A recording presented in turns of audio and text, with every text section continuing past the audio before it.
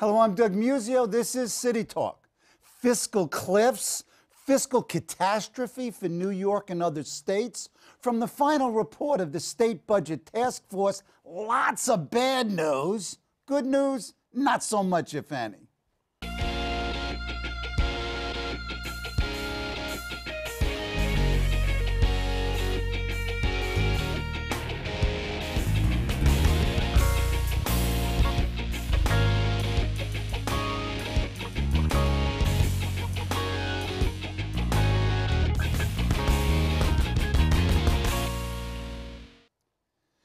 Bringing us the news, again, mostly bad, I don't know how much good, is Richard Ravitch, the co chair of the State Budget Crisis Task Force, along with former Fed Chairman Paul Volcker. Mr. Ravitch has a distinguished history of public service. He rescued the Urban Development Corporation in the 1970s, is widely credited with saving the MTA as chairman from 1979 to 1983. He also chaired the 1988 89 Charter Revision Commission. He ran for the Democratic nomination for mayor in 1989. He has served as Major League Baseball negotiator and in July 2009, he was sworn in as Lieutenant Governor of New York. He's New York State government's Mr. Fix It, a civic treasure. Always a pleasure. Welcome back. Nice to be here. Okay. So you woke up this morning, and what are you most concerned about among the all the buzz out there? What does Richard Ravitch focus on? At the moment, I'm more concerned about the fact that the media covers the politics of our fiscal problems, but doesn't look beneath and say, what are society's needs? Do we have enough revenues to pay for them? And if not, what revenues should we exact in order to be able to meet society's needs? That is the beginning of the question. Um, it's not the end of the question. You can't be judgmental about uh, what a politician does just on the basis of contrasting it with what other politicians right. do. You have to look. For example, take the issue that's front page news these days about pre-K education. Right. And uh, the millionaire's tax. Go and ahead. the millionaire's tax. First of all, uh, people can disagree about the importance of it. I happen to believe that if you want to disinvest in the future of the United States, the best way to do it is to cut pre-K education spending. Mm. And we've been doing that. Rutgers came out with a study that said last year states spent $650 million less on pre-K education than they did the year mm-hmm. before. Pretty serious. Right. I'm delighted that both the governor and the mayor believe that we should spend money on pre K education. I think the question is what's the best way of administering it? What is the cost? And the secondary question is what tax base ought to pay for it? The federal tax base, the state tax base, or the local tax base? That's the way to analyze this. And we're, we're on a has anybody done this? Well, I haven't seen it. Uh, I haven't seen it at all uh, analyzed that way. It's mostly reported as a as a Cuomo de Blasio issue. Yeah, I, I think oftentimes when I talk to reporters, there's an emphasis on the political rather than the policy. I think that's sort of a, a general inclination of reporters, editors, and the masthead because it. It, it attracts eyeballs. It sells papers. And it's intellectually less demanding than trying to get on. Oh, man. So a solution. Come on. You're Mr. Well, Fix It. I, I, look, I, I don't pretend to be an expert on the administration of pre-K education. I'm trying to read about it, learn about it. I can't find anything about it in the current papers, although the Times has an interesting story uh, this week about uh, what the program that Jersey has, which apparently was reasonably successful. I know. I'm, I am from Jersey and on a school board, and the answer is yes. Uh, I want to learn about it more. Uh, but I really want to understand what it takes to run an effective program, how you deal with the high percentage of children who are growing up in poverty and are deprived of parents who have any motivational, uh, uh, you know, energy to mm-hmm. or skill to, to get their kids educated. And I want to understand what the geographical dispersity is within the city. Now, if you don't understand it, who understands all this? Well, I mean, I'm no expert on education, but but you are an expert on, on fiscal matters and what the revenue So I don't know. be. I don't know what the right answer is as to which tax base we Right. pay for it. Except I have a a personal view that uh, the larger the tax base, the more equitably a cost for, that benefits all of society gets shared. So And that is, a federal tax base. but, but is that, that- that ain't going to happen. Well, we live in an era in which every group of taxpayers, whether they federal taxpayers, state or city taxpayers, all say taxes are too high and we want to reduce taxes. And everybody makes all kinds of arguments, some of which I'm sure have validity. Uh, the taxes are uh, uh, disincentives for people to make money. Um, the taxes uh, are burdens that cause people to move to other jurisdictions. Um, You're I- not totally sure- convinced I'm about not- any of that. I, I'm not, sir. I'm not. New York, the greatest period of prosperity in New York State's history, our New York State income tax was much higher than it is today. Um, look, I have no doubt that cutting taxes is politically popular and that it has some economic benefit. But what I want is a dialogue Right. among serious people about what the social needs are of this society. When I read that in New York City we have a million seven hundred thousand people on food stamps Yep. and that 20% of the kids in the public school system are growing up in poverty. Yep. Uh, when I see the number of homeless people increasing as it has over the last year, when I see all the reserve funds that had been built up by the city in period of prosperity having been spent in the last couple of years, when I see the pension costs and the health care costs rising, obligations, contractual obligations that the city has, its statutory obligations, when I see uh, no labor union, no public employee, the, the beneficiary of any collective bargaining agreement at all. I say to myself, there's an enormous amount of uncertainty out there. and Right.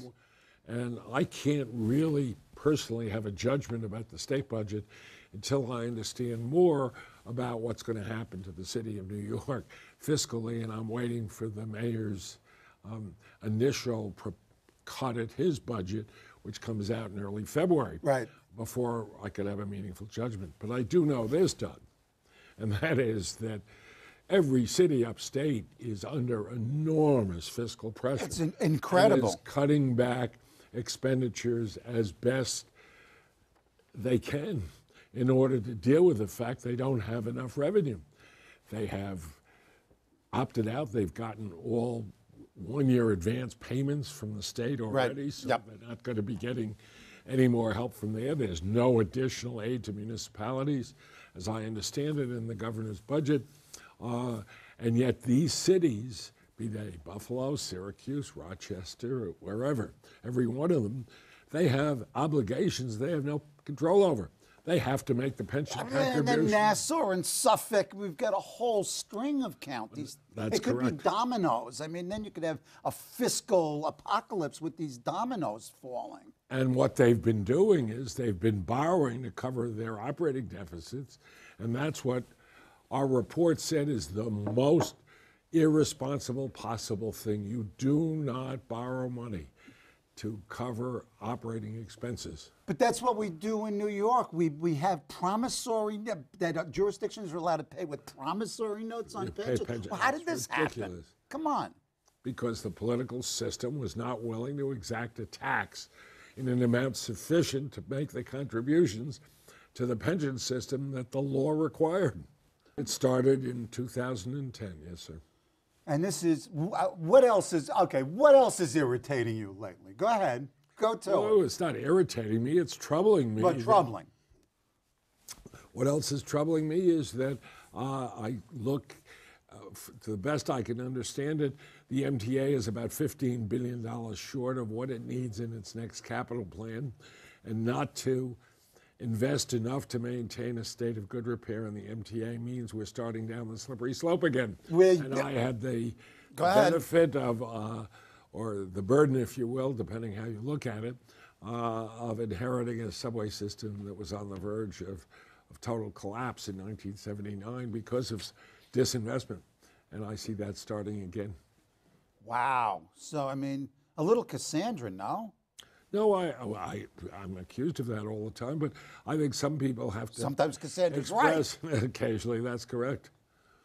Oh, As a matter of fact. Ed, Ed Koch once wrote an article in which he said just that. No, I'm sorry. He, he wrote me a letter in which he said, I know you're being accused of being Cassandra, but you should tell everybody that Cassandra was often correct. That's right. I mean, just like paranoia is often justified. Okay, let, let's let's go for some good news. A little bit. Let's step back a little bit, and that is Richard Ravitch is coming out with a book at in April. So much to do. What is the give give us a preview because you're coming back to talk about the book. And give us a brief preview. Well, it's a bit about my experiences as a New Yorker in business, but primarily my involvement with uh, in my public service in New York. But the reason I wrote the book really is I, I am so concerned about what is ultimately expressed in this report uh, of our state budget crisis task force. Go ahead. That um, cities and states are, in many respects, on unsustainable courses, and that um, what happened in 2008 was very had a terrible impact on states and cities. Um, but that is not what started a process of balancing budgets with borrowed money or with the proceeds of asset sales. Right. And by definition, that's an unsustainable practice. And it's got to stop, or ultimately they'll run out of money. And it's not unique to New York. Arizona sold its state capital, used the proceeds to balance its budget, and then leased the capital back. New York State, 20 years ago, sold Attica Oh, I Prison know. and used the proceeds to balance its budget and leased it back. Chicago uh, hocked 75 years of parking revenues, used the proceeds of that borrowing to balance their budget and, uh, four years ago, and they have no more parking revenue for 75 years. all, all to avoid the tough choice of raising revenue, essentially. Correct. Or cutting an expenditure. Right. And and it's perfectly valid, but that's what the debate ought to be. It ought not to be ducked and avoided by imprudent and less than transparent budgetary practices. And that is the serious uh, message in our report. in a sense, Detroit has become both not only a material place, but a metaphor. I mean, you mentioned places that have gone on under, you know, Puerto Rico, San Bernardino. I mean, there, there, there are lots of places like that. What what is the, the larger issue here of the relationship, for example, of cities to states to the national government? I hate to sound like a professor, No, it's but a- it's federalism. Well, this is a university uh, station. Thank you. So Thank you. I can I'm sound glad like a you do, it. it's Thank nice you. to be able to talk about this subject with somebody who knows something. Oh, well. Um, but it's a good question. First of all, I want to remind everybody that under our Constitution, it is the states, not the federal government, that have the responsibility for public safety, Yep. education, health, the public infrastructure. Two, that cities are corporate creatures of states. Right, Dillon's rule. I, my, my students love it. Third, that there's about $650 billion in the federal budget that are pass-throughs to states, and about uh, um, about half of that is Medicaid, and of the balance, about half are pass-throughs from states to cities. Right. Now, you look at the public debate about the federal budget and the compromise that was reached this year. Sequestration is mm-hmm. over. That was devastating to cities. Crazy. But it, we're still going to have cuts. And I assure you, the most vulnerable part of the federal discretionary budget to cuts are those programs that are administered by municipalities. Sure. Because they have the least powerful constituency in the Congress of the United States. So, another major point we made in this report is there is a frightening disconnect between the federal budget process and what happens at the state and local level. It's, it's astounding. And also, not only do you have these systemic problems, but for example, you're really getting no leadership from the White House on these issues, on infrastructure development, really. So I think, you know, you've got not only systemic institutional factors, but you've got personal political factors here as well. You know, I it'll surprise a lot of people, but my book is um uh, is I pay a lot of homage to politics. I don't think politics is a dirty word. No, it's ennobling. Politics Come on. is what makes democracy work, and you you cannot govern in a democracy by being above politics. Uh, the former mayor of the city of New York tried, or that was just a charade? Uh, Mike Bloomberg? No, no, he was a, as much a politician as any of his predecessors. Ah, ah. And in fact, the, looking at New York City, you mentioned early on. one Therefore, he was a pretty good mayor. Um, yeah, yeah, yeah, yeah, yeah. That the new mayor, Bill de Blasio, really faces a, a, serious budgetary fiscal situation here with the, the, the lack of municipal contracts. Wow. Look at look look at the plate of New York City from sort of the mayor's chair, if you can. Look, he's a very decent, honorable human being. Uh, his heart's in the right place. His concerns are the right concerns about this city. He's got a big learning curve to go up.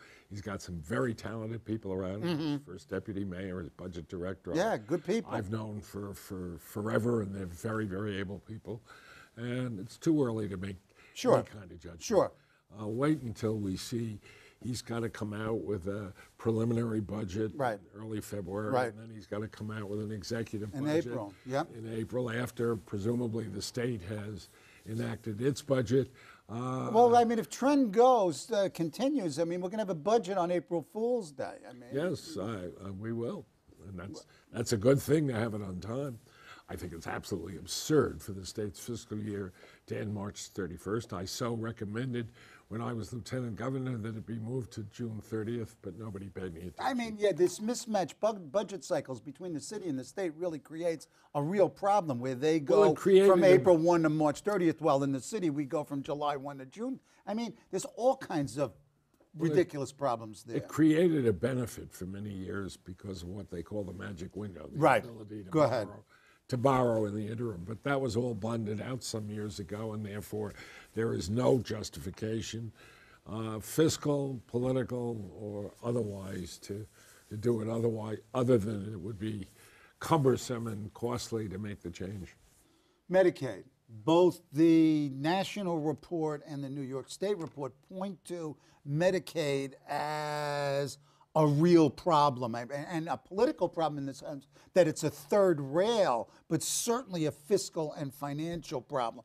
Talk about Medicaid and what might be done with it in terms of increased service and perhaps reduced cost.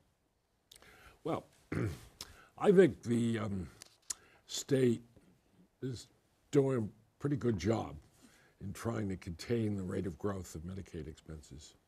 Uh, I think number two, I wrote and spoke out frequently to the effect that I think that since 40% of Medicaid expenses are expended on people who are, are already on Medicare, Right. that the Fed ought to pick up that portion of the, Right. not 50%, but 100% of that portion of it. So, But that ain't these people- happening. no, it's not happening. Go ahead, but okay. that, that's Okay. Third of all, given the uncertainty of the future of Obama health care, it's hard to predict. I happen to believe Mm-hmm. that every American should have health insurance, uh, and I happen to believe that it would have been better if we'd gone to a single pa- payer plan. Right. And I don't quite understand why the president has never didn't start off that way. I understand. But he abdicated total responsibility. Put, To the insurance Right, company. right, and the, To the and the Congress, company. right. Well, because no, in fairness to him, Go ahead. because the insurance companies had too much clout, and there's no way they could have passed a single payer system uh, under the circumstances. But that that is the Right. desirable goal. We're the only large industrialized society that doesn't provide health care for, for our citizens. So there's a lot to be unresolved. Also, the formula for distributing federal Medicaid money is adver- works adversely to New York's interest in that uh, we have rich people, we have a lot more poor people, but our average, therefore, isn't as low as it is in Mississippi, where there are very few rich, Right. rich people. So Mississippi gets a much higher reimbursement rate than New York. Pat Moynihan tried to change this for years. Oh, God, And he- decades. It's- and he finally gave up and concluded that the reason it's unfair is James Madison's fault. You know, those damn founders, they really screwed up. They built a government that was meant to be did, grid, gridlocked, and, and it happened. Go ahead. Two senators for every state. I know, and you can't change that. you can't, nor should you really. Oh man, I'd like to strip like this whole section. Oh no, I'm, don't don't start me.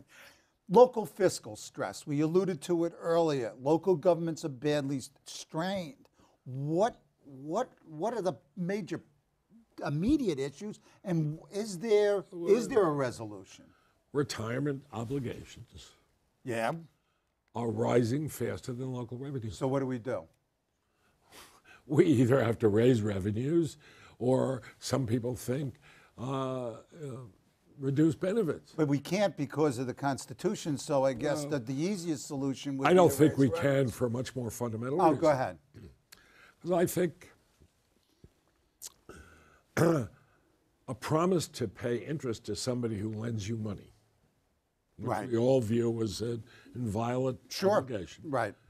but is morally indistinguishable from a promise to pay a benefit to somebody who worked for you for 20 years. Okay. So those people who say we're going to solve the fiscal crisis by cutting back on pension benefits, in my view, are outrageous. Everybody's going to have to put a piece of their you know what on the table to solve this problem. Okay. But what pieces do people have to give up? What pieces do workers have to give up? What pieces uh, do? I mean, do, I mean, We live do in we a wanna- democracy. This we- has to be bargained. Okay. Okay. Okay. Uh, Okay. I'm not Solomon, and I'm not prepared. I have my own values. We, they may not be the values of the majority of people, but this has got to be resolved politically. It cannot be resolved by pretending the problem doesn't exist or by expressing rectitude. Uh, about public employees, or ah. rectitude about the tax system. That gets you nowhere. but oh, that's what anti-rectitude. That's a I am that's a anti- camp, I- that's a campaign slogan. I am- Come on, I love am it. Against the newspapers just ooze with rectitude. Oh man, I can't love it. I. I think we should have a campaign, an anti-rectitude campaign. I could- I'll sign up. Oh, come on. Okay, debt. What do we do about the massive debt, state debt, You see, and all the This is- backdoor debt and authorities? Come on. What do we do? Doug, Okay. Uh, we, we wouldn't have a transportation system or a highway Right. system if we didn't have debt. Right. It's not the amount of debt that's It's the what? problem. It's the lack of revenue to service the debt that we need. Yes. So, what do we do for transit? You know the MTA. You issued several reports, one major task force Well, I have to say that uh, uh, the legislature did enact one of my two proposals in 2009, and that was the payroll tax, even though it got watered down because the Senate Republicans Right. wanted to use it as a political issue in Nassau and Suffolk County. Uh, but uh, they, the Senate rejected um, rejected my second proposal, which was to toll the East River bridges. And actually, it's rather interesting that the three Democrats, Democrats control the Senate in 2010, the three Democratic senators who Go ahead. uh, killed the tolling proposal are now, I think, in jail or under indictment or or under indicted. indictment. Okay. They're no longer in the Senate. Is the is the tolling of the East River bridges something that really could come back onto the agenda and have a Must. rational discussion on this? Absolutely. You think? Does the mayor do? Who, who starts this discussion?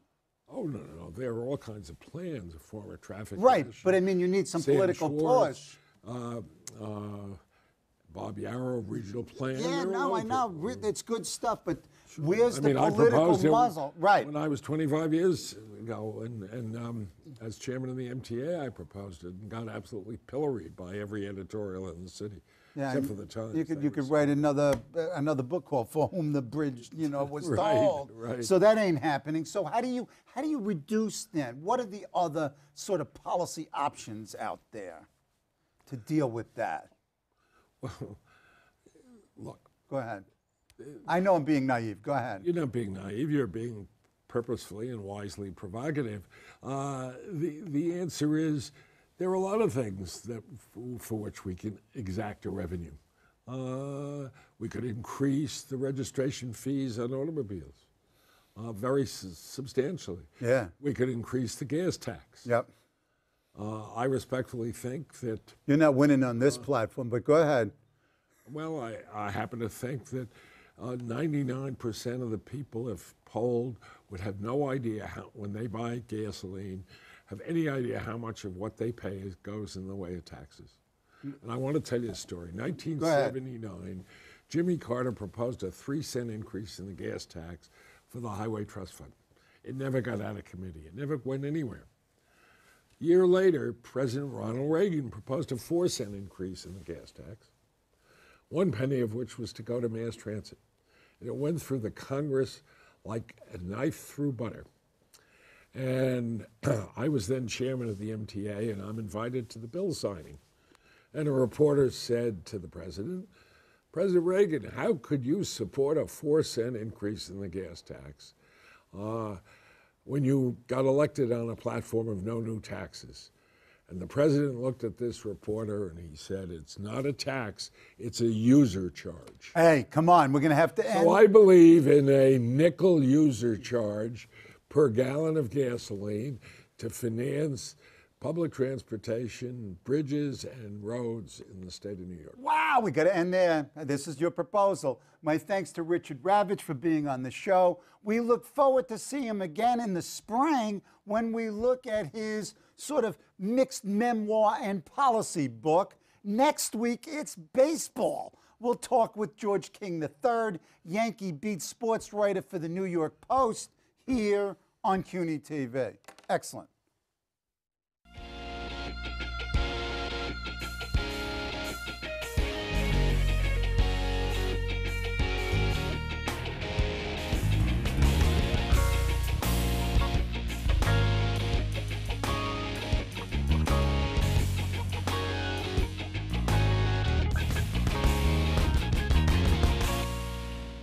Hello, I'm Doug Muzzio. Let us know what you think about this show. You can reach us at cuny.tv. When you get there, click on the bar that says Contact Us and send your email. Whatever it is. Thanks, no thanks, obnoxious, do it. Send it.